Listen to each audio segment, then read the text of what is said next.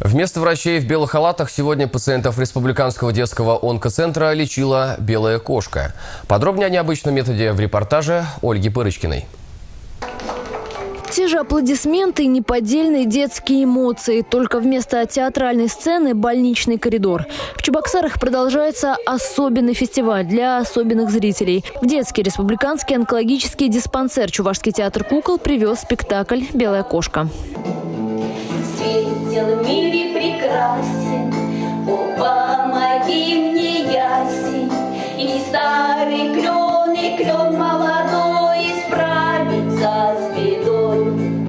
Вот так, наблюдая за приключениями принца, заколдованной принцессы, дети получили дозу важного, действенного и абсолютно бесплатного лекарства под названием «Хорошее настроение». Лечение наших детей в нашем отделении занимает длительный промежуток времени. И от настроя ну, главное, в положительном настрое зависит и результат.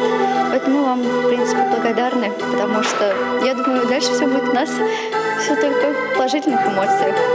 Мне очень понравилась эта сказка, потому что киска красивая. А ты раньше была вот на таких спектаклях? М-м, я первый раз вижу такое. И первый раз в кукольном театре мне очень понравилось Артисты театра отмечают, этот спектакль выбрали не случайно. Этот спектакль, он компактный. С этим спектаклем он легко собирается. Во-первых, куклы маленькие, они буквально маленькую коробочку все помещаются.